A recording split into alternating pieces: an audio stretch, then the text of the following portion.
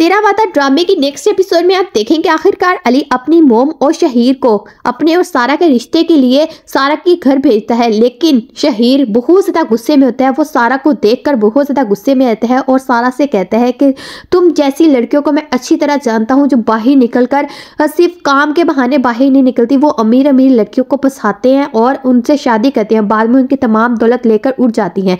मैं तुम जैसी लड़कियों को अच्छी तरह जानता हूँ तुमने मेरे भाई को भी इसी तरह वापस आया है। मैं जानता हूँ कि तुम कैसी लड़की हो, तुम कैसी मिडिल क्लास लड़की हो, जो सिर्फ़ पैसों खातिर मेरे भाई से शादी करना चाहती हो। मैं ऐसा कभी भी नहीं होने दूँगा। सारा ये बातें सुनकर बहुत ज़्यादा गुस्से में आती है और वो शहीर से कहती है कि, शहीर भाई, आप होंगे अमीर अपने घर में, लेकिन ये मेरा घर है। आप इस तरह मेरे घर में मेरी बदतमीजी नहीं, मुझसे बदतमीजी नहीं कर सकते, मेरी फैमिली से बदतमीजी नहीं कर सकते। और रही बात अली के रिश्ते के लिए तो मैं इस रिश्ते को आज और कल हर वक्त इनकार करूँगी। मैं कभी भी शादी नहीं करना चाहती अली से। वो ही मेरे पीछे पड़ा हुआ है और वो मुझसे मोहब्बत करता है। मैं तो उससे बिल्कुल भी मोहब्बत नहीं करती। तो वीवर तो वीवर्स आपको इस ड्रामे में किसका करेक्टर ज़्यादा अच्छा लग रहा है? हमें कमेंट करके ज़रूर बताइएगा। वीडियो अच्छी लगी हो लाइक शेयर कमेंट करना मत भूलिएगा। Thanks for watching my video